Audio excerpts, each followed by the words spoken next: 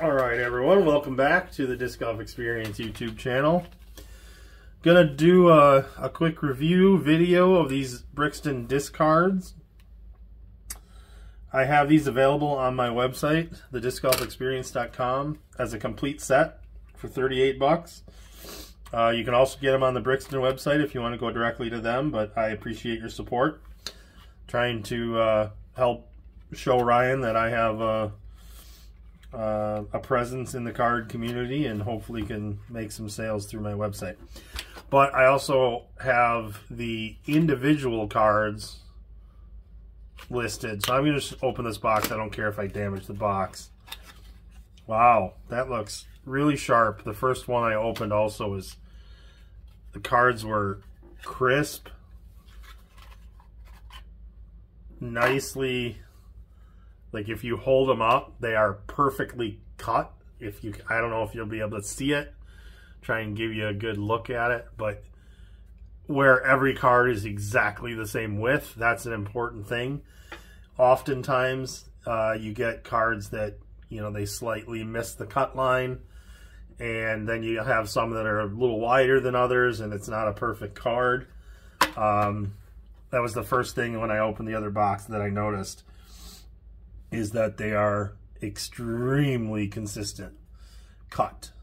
So, all right, so there's 40 cards in the set. Um, as I said, it's it's a throwback, kind of a vintage look uh, to the discards that were produced in 1993, 94, 95, and then 95, 96 had a Hall of Fame set. Um, Will West was the person who produced them. Uh, I don't know much about Will, but I've been told he was a pretty amazing person, and I believe he's in the Hall of Fame.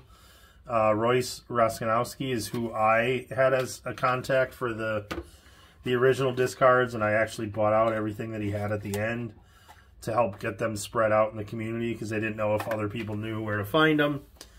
Um, so I think I bought the last of what he had. Uh, I've got a few of those sets left for the Hall of Fame set, and I think I have a couple of the 94 set, but I don't have any more of the original run Premier Edition 93s. This is my own personal sealed set. And so I think I have the 96 and the Hall of Fame, which is 95, 96, I think they called it. I don't remember exactly how it was numbered, but um, anyways, those are the two that I have extras of on my website also. But regardless, uh, I'll get to the set. First card. Uh, again, the goal was to look kind of vintage and old. Very uh, classic looking, very clean, uh, on a white-ish, maybe slightly off-white cardstock. It's a little dark. Let me see if I can get more light here.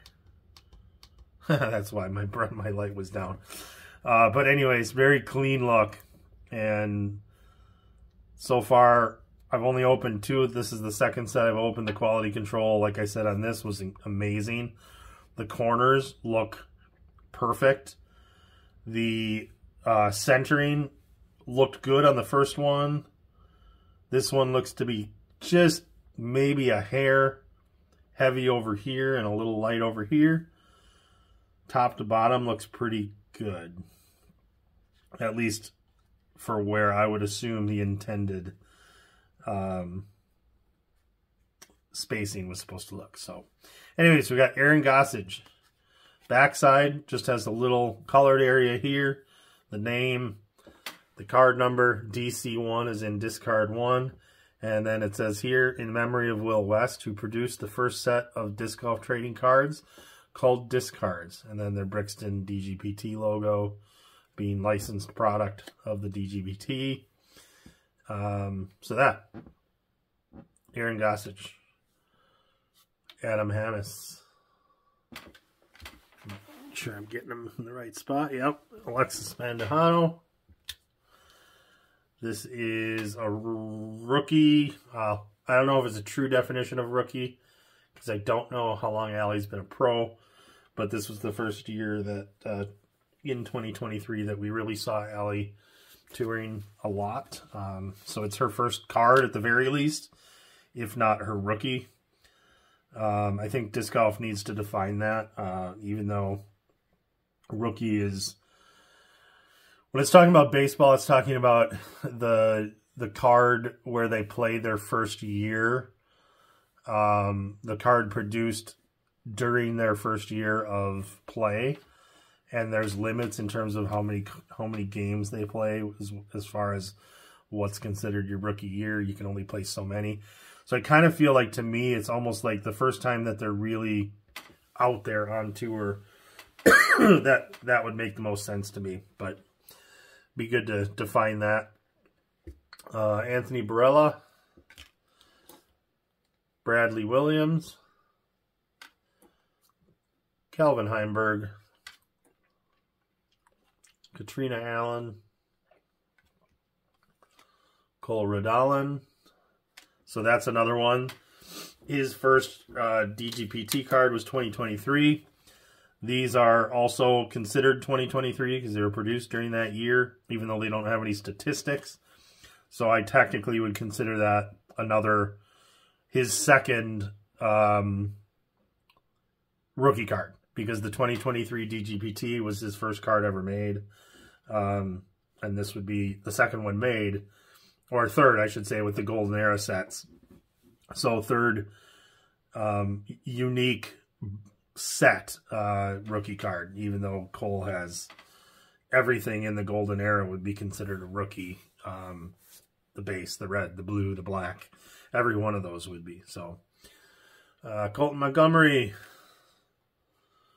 Corey Ellis, Drew Gibson, first Eagle McMahon Brixton card produced, not his first card by any means. He was in the 2016 DGPT set even. Ella Hansen. Eveliina Salonen. I think her first was 2023 DGPT also because they the um, European people really didn't uh, tour until uh, the 2022 season. I think that's correct. They were touring after the year and a half of pandemic. So Eveliina and Henna and a few others. We got the Gannon Buhr on his last, uh, yep, that's a Prodigy shirt. So last time he'll have that, at least for now. Garrett Gurthie. Hailey King. Heard heard Garrett's uh, in companies, manufacturers of his jerky. Wondering what happened there. But he's moving on from whoever was doing it before. Henna Blomroos. That, again, would I believe be considered a rookie. Holyn Handley was last year, was 2022, was a rookie. Isaac Robinson. That's his rookie. James Conrad. Kat Mertsch. Oh, that doesn't even look like Kat. I don't know why that looks so odd to me. That is her, though. Kristin Tattar, this is her first Brixton card. So her and Paul and a few others, the reason they weren't in the uh, Golden Era set, I think the turnaround between getting the licensing where they basically had access to anyone and um, getting the, the sets printed, they just didn't have a chance to communicate or, or get them into that set. Uh, but they've been working hard uh, to get her, get Kristin and Paul and uh, a couple other people into these newer sets. So Kyle Klein, kind of interesting that this set is, um, I guess the golden era is 2022 now that I think about it. Uh, I'm con I'm not sure. I think it is 2022. Uh, Lykke Lorentzen. I still don't know how to pronounce her name. Lykke. Matt Orum. Missy Gannon. Niklas Anttila. Little discussion about him going around. Is He claimed to be ending, or his contract was up with Discmania, but the rumors are that he may be signing to a higher level of team and not actually moving to a different manufacturer. So he might be uh, one of the last actually to announce for this year. Ohn Scoggins, Paige Pierce. There's the first Paul McBeth Brixton card. Paul Ulibarri. I actually question where this photo was taken. That just looks like a regular old t-shirt. Not a dry fit. Maybe it is, and I can't tell. But I wondered if that was like an exhibition or something where he wasn't required to meet the PDGA uh, dress code. Ricky Wysocki. Sai Ananda. That's her rookie card. First one I've seen and made. Sarah Hokom. Simon Lizotte. Stacy Ronsley, also rookie. Valerie Mandujano. And Zach Melton. So, anyways, 40 cards. The full set come boxed. Uh, 38 bucks. How, how can you go wrong with that? Uh, if you are into only like one player, you don't want to buy the whole set. I do have the individual cards broken out on my website. Feel free to go there and purchase your favorite players. Um, I have them listed for between one and eight dollars, I think, on the website. So even at a dollar, you know, it's just passing along the card. Uh, but some of the bigger names or the rookies, I've I've upped the value a little bit Um because um, I think there's some some growth potential and value uh, down the road. So we'll see. Uh, let me know if you got a bunch of these you want to buy, uh, individual players. Hit me up and I'll give you a, a, a bargain, give you a bulk deal. Uh, but if you just want one player, the price is what it is on my website. So that's it. Um, so all, all in all, quality control looks really good. The quality of the product, um, the card stock is pretty firm. Like it, it, I think he called it 18 point thickness. I don't know what the golden era is. Some of those might have been thinner. Like the base, I'm not sure of the thickness. But these feel like really sturdy, really sturdy cards. Um, and I like the retro look. The the colors don't quite pop like you would see in the golden era, and I think that is by design to make it look like kind of the photography of back in the day. There's almost a little bit of a like a reddish hue in in the in the coloration, the backgrounds. Uh, very slight, but it's almost like that, or it's just a little bit muted of the colors. But I think it's a great set. They were I'm glad they were able to produce something on a pretty quick turnaround um, between the Golden Era production and something else. So that's about it. Uh, again, if you like these videos, my mail calls, my kind of reviews of sets. Uh, I will eventually do a video of my whole collection, but that's going to be such a long video. I don't know if people are going to watch it. I'd have to learn how to do the uh, product tags so that you can look at each thing if you want to and skip over areas you don't. Um, but then stay tuned. I should be doing some box uh, openings and I'll be selling spots to buy into the boxes. I've got some golden era left. I've got some 2023 signature and relic boxes left. I've got some packs from 2021 still. And I'm waiting to get the 2024 product in hand uh, to start doing some of those. Because what I kind of want to do is give you a break. Like, you get one 2021 pack. You get uh, one signature box pack, one relic box pack, and a golden era pack. Something like that. Put it all into one bundle.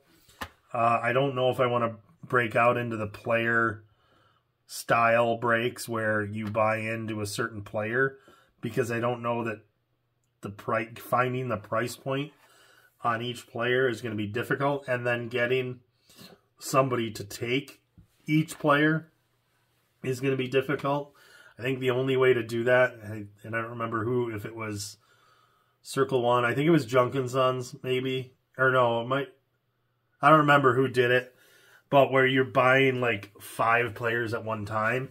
So we could do like a, a draft, kind of like a fantasy football thing, where if there's eight spots and there's uh, 16 groups of, of players, the first person we get to pick their five person player.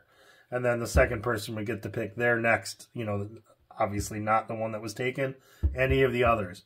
And then do a snake where the A spot gets to pick 10. So two, two five person spots in a row. And if you get the first pick, you get your favorite five. And then you get the five that nobody else wanted. So it's kind of the fairest way to do it. Uh, I think that would be a unique way to, to handle it. I uh, just have to figure out how that would work. I think there's uh, 75 players, 75 or 70-ish players in the golden era. There's 75 players in the 2023 and 115 players in the 2024. Um, not don't remember 2021, but probably around 75, maybe 70. Um, and different people, so I'd have to do a lot of math, but it would be kind of a fun way to handle it, I think. So definitely, I haven't had anyone contact me saying, hey, this is what you should do. This, let, let's talk about it. Hit me up in a chat and uh, figure out a way to, to make this fun for everybody uh, to get a nice selection of product. Um, I will definitely want to be want to be able to sell the Brixton stuff, the Golden Era, but I also really want to see what's in it because of my very few cards needed.